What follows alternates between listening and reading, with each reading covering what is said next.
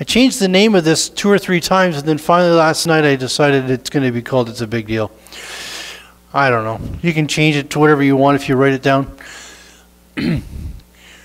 We're looking at the woman that anointed Jesus' head or feet, depending on which, which of the Gospels that you read. But in Matthew 16, so Matthew 26, chap, chapter 26, verses 6 to 13. Meanwhile, Jesus was in Bethany at the home of Simon, a man who had leprosy. During supper, a woman came in with a beautiful jar of expensive perfume and poured it over his head. The disciples were indignant when they saw this. What a waste of money, they said. She could have sold it for a fortune and given the money to the poor. But Jesus replied, Why berate her for doing such a good thing for me? You will always have the poor among you, but I will not be here with you much longer. She has poured this perfume on me to prepare me for my prepare my body for burial. I assure you, whenever sorry, I assure you, wherever the good news is preached throughout the world, this woman's deed will be talked about in her memory. Who was this lady? If you go to John, you can see in John chapter 12, verses 1 to 10, six days before the Passover celebration began, Jesus arrived in Bethany, the home of Lazarus the man who raised who Jesus raised from the dead. A dinner was prepared in Jesus' honor. Martha served, and Lazarus was among those who ate with him. Then Mary took a 12 ounce jar of expensive perfume made from the essence of nard, and she anointed Jesus' feet with it, wiping it with her, her wiping his feet with her hair. And the house was filled with this fragrance. This is Mary and Martha's house. This is Lazarus' place. Jesus has risen Lazarus from the dead here. We see Jesus has gone back to their place a few times in the town of Bethany. This is the woman who sat at Jesus' feet while Martha was making dinner and getting all the stuff ready. And Martha went and complained to Jesus and said, Make Mary help me. And Jesus said, Well, she's figured out the more important thing. We can see that between Mary and Martha, that Mary's relationship with Jesus was on a deeper level. This is the Mary. Her brother was raised from the dead. When Lazarus was raised from the dead, I thought it was quite interesting because as soon as the two women found out that Jesus was approaching, it was Martha that actually ran out and met Jesus. Mary stayed in the house. So you think, okay, well, Martha, Mary's the one that was deeper with Jesus, but Martha's the one that sprinted out to Jesus, caught Jesus, had the conversation about, and Jesus says um, that he'll live again. Well, yes, in the resurrection. He goes, no, no, he'll live again now. They get to the grave, and then Mary joins them. This is who this lady was. Why did she bring this thing to, Mary, to Jesus? Why did she bring this jar that was expensive? They say this thing was worth a year's wages, 300 denarii. A year's wages. This would have been this woman's retirement fund. This would have been her future sitting in this jar. We don't know where she got it from. We don't know why she had it. But it was a year's worth of resources. Whether she dumped it on his head, whether she dumped it on her feet, or whether Jesus was anointed two different times. A lot of people believe that it is the same event. And if it was the same event, then one of the references refers to her as being a sinful woman. So, did she live a life prior to this? Had she been forgiven a lot? Any way we look at it is Jesus was anointed with a year's wages on his feet or on his head or both. A typical jar,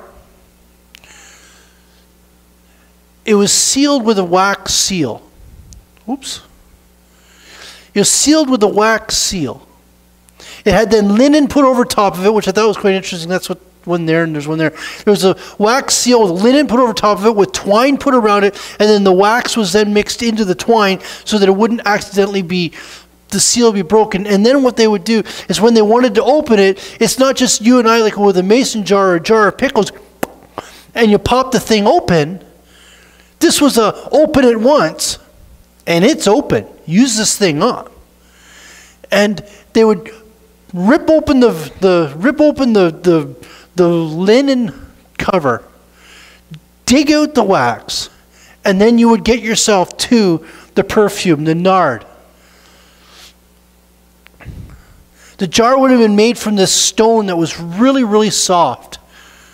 It was a combination. It was, it was a combination between gypsum and calcite. Gypsum, you can actually scrape it with your fingernail. When you think of when you think of plaster, there's a lot of gypsum in that. Then you have calcite, where you can carve it with a knife, but it's a little bit stronger. And this is the material that this thing was made out of. Some people call it an ossuary, not ossuary, call it a um, alabaster box, but there's no actual there's no actual documentation that this would have been a box. They all say that it would be like a little urn. And it would have been a very soft, soft rock that this thing was made out of. It was carved. And it was the, the perfume was made from the spikenard plant. The perfume came from the roots of this plant. You got it actually from the Himalayan mountains. The Himalayan mountains, I believe, is where the Mount, Mount um, or the tallest mountain in the world, the um, Mount Everest is in the Himalayas, I believe. This is where it is, and it borders between, between China and India and Nepal. And it's the only place you can find this, this plant and they got the perfume from the roots of this thing. And they say that the jar would have come from one of those three locations, but it would have come from the Himalayan mountains. And it would have been imported all the way to Israel. And this woman would have had this jar, and again, as I said, it was an entire year's wages. It would have been such, such a special thing to be hanging on to. And it was used for two purposes. When, they, when a new king was being anointed, they would use the spikenard oil. And they would anoint a king to become the king of Israel, the king of the land that they're in. Or a doctor would use it for very specific reasons for healing. So Mary comes to Jesus looking at her Savior, and she opened this jar that was only used for one of two purposes for healing or to anoint a king. And we look at our King of Kings as he was being anointed in this location, we realize that Jesus is, that Mary is, is looking at Jesus and saying, You are in fact the greatest King of all, and I will anoint you with the greatest and most expensive perfume that can be given to you. And then she's looking at him, the guy that raised her brother from the dead and said, for, no, for healing, this is used by doctors, and you healed my brother from the dead. You are the greatest physician of all existence and time. And she gave him this anointing oil, this, this oil that was used for these two purposes. She saw him as the greatest king of all time and the greatest physician of all time. And she anointed him only six days before he was sent to the cross. And this stuff was pungent. It was strong. It says that it, it filled the entire place with the smell. I am sure people walking past the house would have smelled this outside. It was so strong. When Jesus was arrested, this smell would still have been exuding from him because it would have soaked into his skin. As Jesus is being whipped and taken to the cross, the smell would have still been exuding from him because it was strong stuff. She was showing us something here. She was showing us something of, of what this meant to her and what Jesus meant to her. Why was she willing to do this? She had figured out the greatest commandment of all time. Jesus told them when he was asked, Which is the greatest commandment?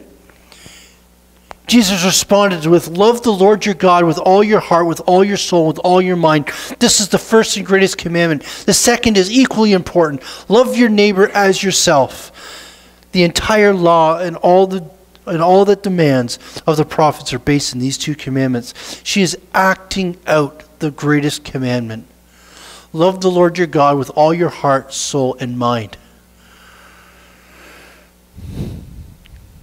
It wasn't about the financial cost for this woman.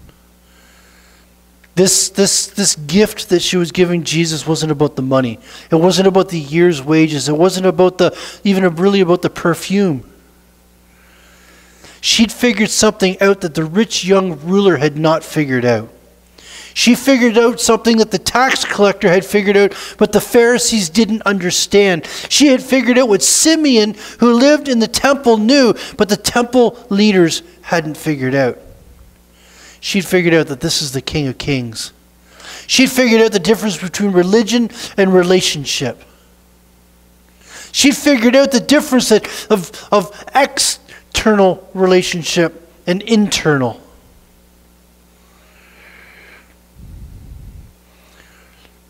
I took this picture on quite a number of years ago. And when you look at this, you're looking at probably the boat in the background. But the boat in the background isn't really what we're looking at. We're looking at the dark spots in the water. That's actually what I was taking a picture of. Just so happens that was the boat that we were on. But just so happens the dark spots in the water are actually the more important and interesting part of this entire picture.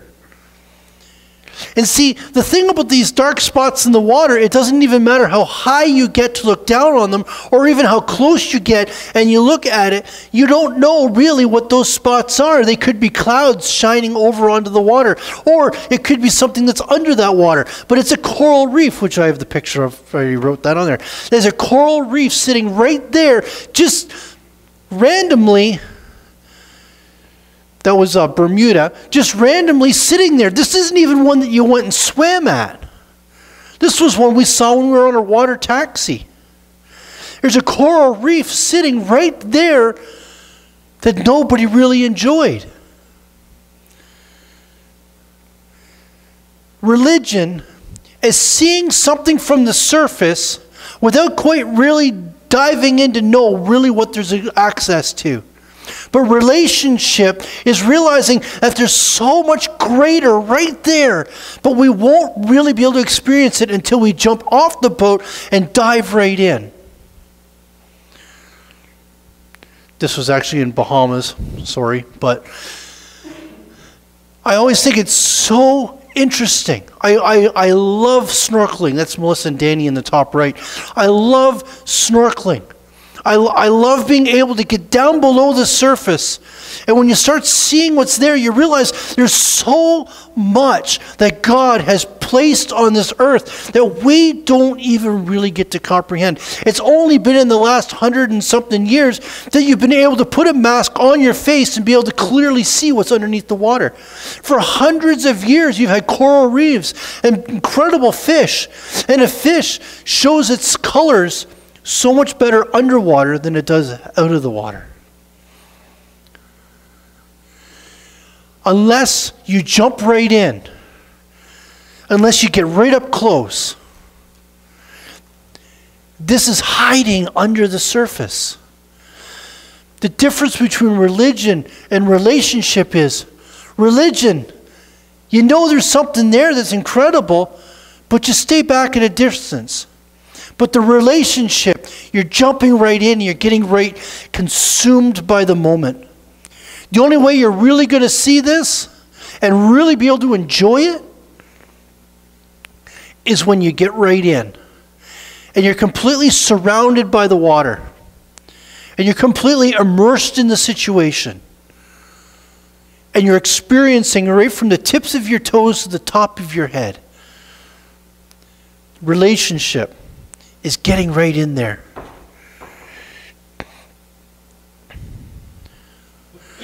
Mary knew the only way to totally be able to move to that higher relationship was to give to Jesus all that she had. Most people, most scholars say this had nothing to do with the money. most scholars believe that this was an idol that this woman had. She always knew having that jar was her idol. She always knew that she could, she could rely on that. Rely on, trust in, keep that off to the side. That was always there. As long as that was there, everything would be okay. And that was her focus. That was her, her intention. That was her thought, was that, that, that jar. And she always knew. She always knew regardless of everything that she went through. And if she is the same woman that we read about in the first passage, if she was, she was a woman of ill repute. She was a woman that was that had been a prostitute for a while, and she had been forgiven so much. And if that was the case, then she had this thing throughout that entire time, knowing that that's something she can fall back on, that it, that could get her out of that lifestyle. She always knew that that was there, that was there, that was there, and finally, Finally, Jesus shows up at her house. He's having dinner that her sister had made, having dinner, and she's sitting there, and all of a sudden, the Lord, not Jesus, but the Holy Spirit, works in her heart and convicts her and says, That jar is more important to you than the Savior who's standing before you. Sure, she could have sold it. Sure, she could have gone and, and, and gotten, even if she'd gotten a half a year's wages out of this thing and given it to the poor. The thing would have mean, meant that that jar was still somewhere. That perfume was still somewhere. Somebody still had it. But if she opened it and she gave it to Jesus and she poured it on his feet, then it was it was done. And Jesus was the only one that would be able to enjoy it only one that was able to, to, to take it, the only one that was able to, to have it. And she wanted him to have it. She wanted to take that idol, take her, take her, her, her thing that she relied on, and give it to Jesus and say, I'm going to rely on you. Would I be able to do that? Do you realize that Jesus never asked her to do it? He didn't look at her and say, Hey, Mary, I know you got that jar. I, I, I am the king. You know, Mary, I, I'm going to be put to death in a couple of days from now. Mary, why don't you go ahead and get that? It was completely the conviction and the, the, the prompting of the Holy Spirit inside her that drove her to that point. Would I be willing to do that if the Holy Spirit started working in my life and working in my heart and saying, Bob, go and do this? Would I completely trust him? Would I be like Abraham? God actually did ask him through the prompting and the Holy Spirit in his heart and said, Abraham, you remember that kid that we spent all this time getting? Not that God was working too hard at it. He's like, okay, it's time. He knew when it was going to happen. But Abraham was certainly trying. He wouldn't have Ishmael in the process. But the day came that the baby was born, and then a decade or more longer, then God says, Do you remember this kid, your son, your only son, the one that I recognize as being your son, not the one that's going to be fighting for generations with the other one? Do you remember Isaac? I want you to give him to me. You got another sacrifice here that, that all of a sudden all of a sudden he wouldn't be able to be good of anything after this.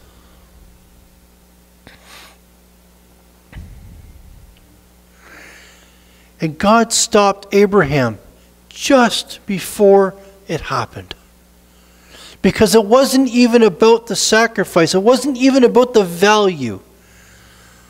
It was about the relationship. How much do you trust me? It wasn't about the, the, the alabaster jar. It wasn't about the, the perfume inside it. It wasn't about the sacrifice. It was about are you willing? Am I willing?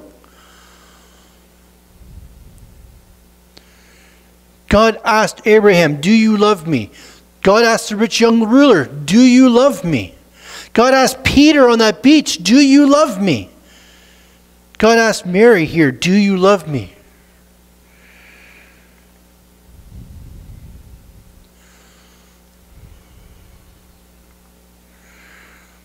The word religion.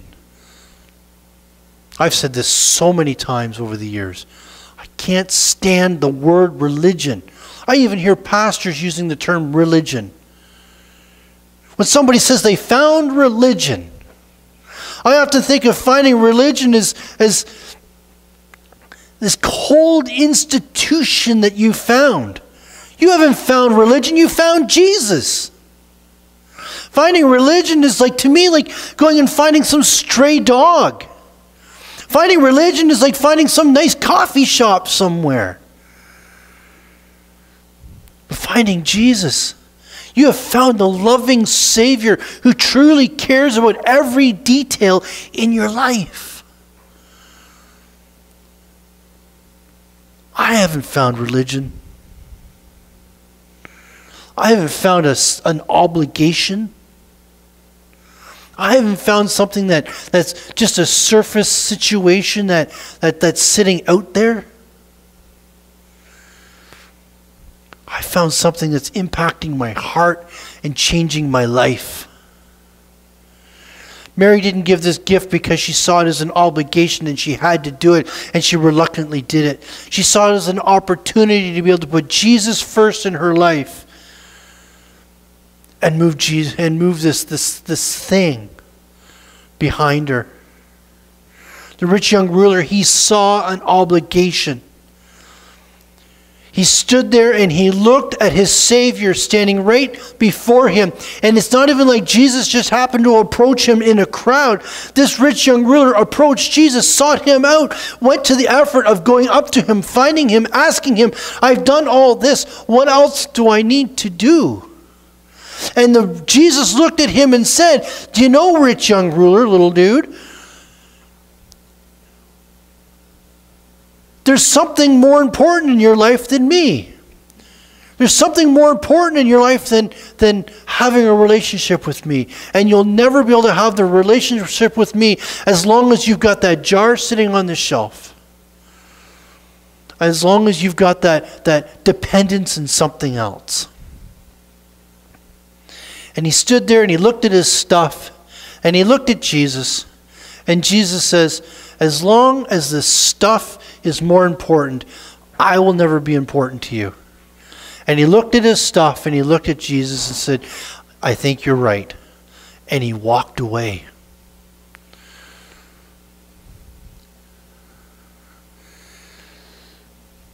And see, this is one of those situations in Scripture that I struggle with the most. Would I have chased him? Would I have tried to talk him into it?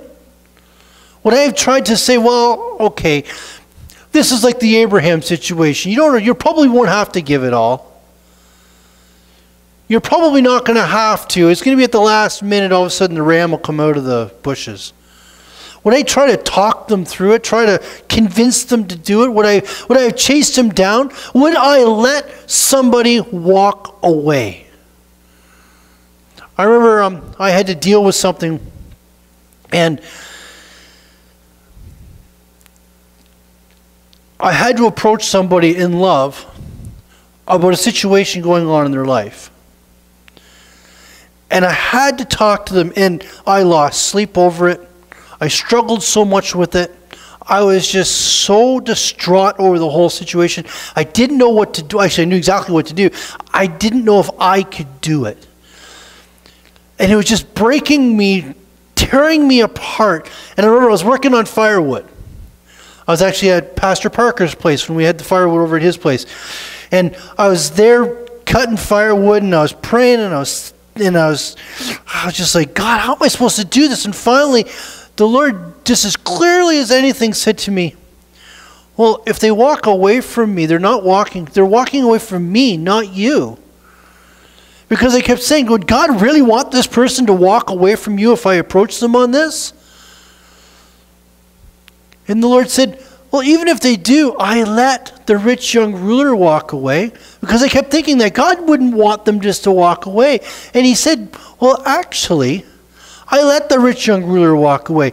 I do draw a line in the sand sometimes. And that just blew my mind that day.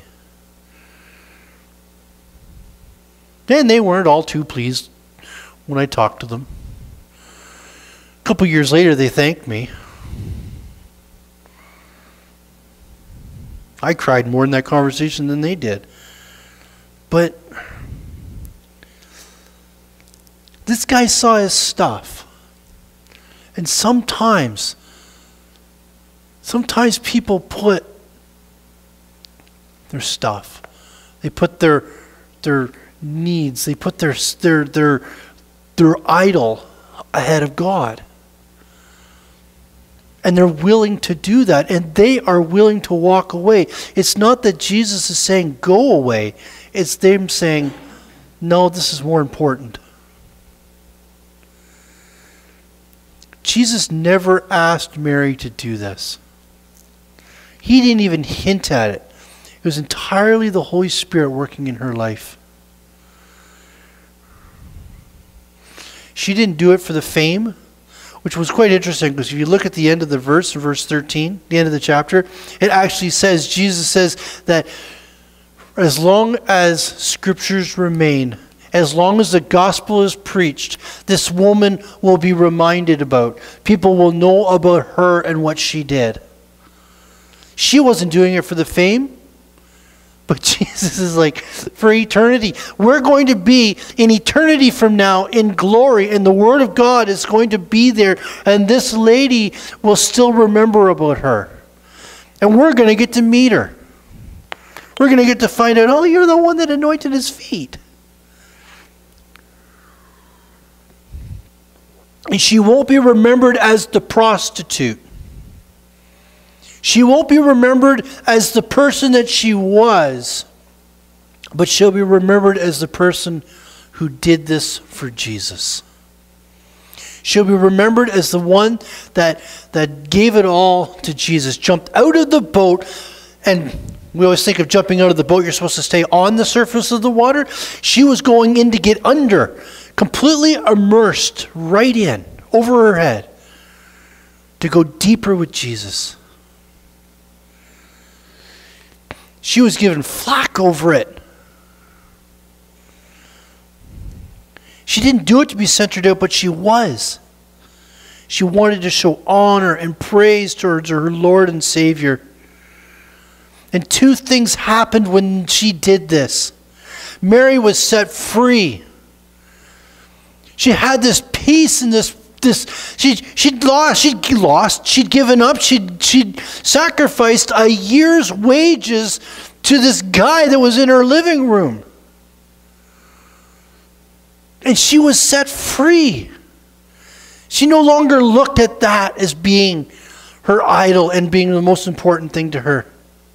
But the second thing that happened was the the, the 12 inner guys the disciples, the apostles, the movers and shakers, the ones that were supposed to be supposed to be the, the ones that were the example to society, the ones that upon this rock I'm going to build my church, which was Peter, but upon this group that was going to shake the world, the ones that were sent out in groups of two to be able to preach the gospel, raise they, they were praying for the praying for the sick, praying for the dead, they were praying for demons to be cast out.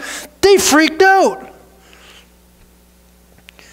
I say Judas, but when you actually look at it, it says that all the disciples were ticked off. We're not talking about week number two of Jesus' ministry. We're talking about T minus six days from Jesus going to the cross.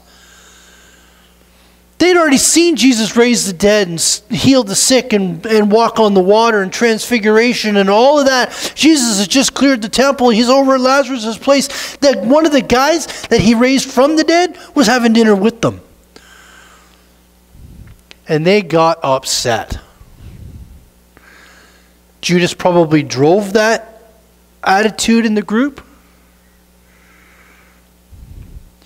But they didn't see the gain that this woman was having in her heart. They saw how that amount of finances would be able to do this amount of stuff.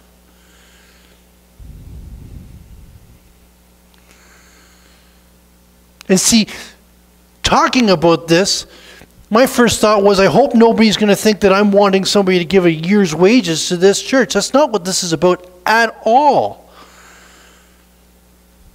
Because when, when Jesus asked her to do that, nobody got use of it. This isn't about this place, it's about our hearts. So, really, if you did, you need to give it somewhere where nobody would even know you did it. Would be gone. It's not about here, it's about our hearts. It's about giving to God. There's those in charge of the budgeters thinking, what? It's not about Bethel. It's about our relationship with Jesus. If our entire relationship with Jesus is simply a religion or an obligation, we've missed the point. Looking from the outside, you can get binoculars. Anybody ever been to a coral reef in a boat? You can be sitting in the boat and looking down, and you don't know what's there. You can be sitting, you can you could go in a helicopter and look straight down at it. You can't see it. One minor detail I'm leaving out, you can go in a glass bottom boat. You do kind of get a good view from it that way. So you may not get wet, but you still need to get under the surface. But the best way to experience it is when you're right in there breaking the rules your mask fills with water, and you've got a little bit of water in your in your snorkel, and you've got to stand on the coral reef to drain out your mask and your snorkel, and then you get back up off your feet and keep going. The only way to really enjoy it is when you you scraped up your leg, didn't you? Susan accidentally, she depth perception's usually a little bit off, and she accidentally kicked the coral reef, and it tore up her leg, and all of that. You got to get right in there. Let it impact your life. You enjoy it. You remember things like that. And the Holy Spirit prompts us. Do we really want to do it? If we struggle with it, we need to ask ourselves, why? Why am I struggling with this? We need to look at our hearts. We need to examine is there something in there that's holding us back? Is there something that's making us see our relationship with Jesus as just being something that's religion? Is Jesus more than just a face in a painting? Is Jesus a friend that you know? Am I willing to give to Jesus that which is most important to me so that I can have more of Him? This was a big deal it was a big deal that she gave this to Jesus. It was a big deal that she that she sacrificed for him. It was a big deal that she went and got that jar, opened the jar, which would have been just a matter of just taking the lid off a can of pickles. But this is taking the twine off and digging out that that that um, that wax. And as soon as that thing psst, opened up, Everybody in the room knew she'd done it. It was a big deal. Am I willing? Am I willing to do that for my Lord? Am I willing to sacrifice that much? Let's pray. Heavenly Father, I thank you, God, for all that you are. I thank you, God, for all that you're doing. I thank you, God, for your awesomeness and your amazingness and your truth and your glory, Lord. Oh, Heavenly Father, I pray, Jesus, that I will just put you first, Lord Jesus, and I will put you I will put you ahead, Lord God. I pray, Jesus, that I will go and take off the shelf that which belongs to you and give it to you, Lord. Oh, dear Jesus. I praise you and thank you, God, for all that you are. I thank you, God, for your majesty. I thank you, God, that you love us so much. Oh, Heavenly Father, to be all glory and honor and praise. Oh, Heavenly Father, we thank you. Heavenly Father, we give it to you, Jesus. Oh, Heavenly Father, may you transform us and make us like you, Lord. Oh, thank you, Jesus. Thank you, Jesus. Thank you, Jesus. Be high and lifted up. To you be all glory, Lord God. And I pray, Lord Jesus, that if there's something that I've made an idol in my life, Lord God, help me to be able to give it to you, Lord. And I pray, Lord Jesus, that we will go jump out of the boat and completely submerge ourselves in you, Lord God. Oh, thank you, Jesus. Thank you, Jesus. We give you the glory, Lord, the honor and the praise. We lift you, Jesus, up on high. Thank you, Lord, in Jesus' name. Amen.